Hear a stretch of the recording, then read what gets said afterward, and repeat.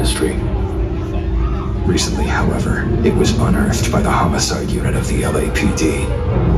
The song would soon gain infamy as key evidence, allegedly linking Ice Nine Kills frontman Spencer Charnas to the brutal slaying of his 28-year-old fiancée. Though the original title of this disturbing number remains unknown, this cut would forever be remembered as Welcome to Horrorwood.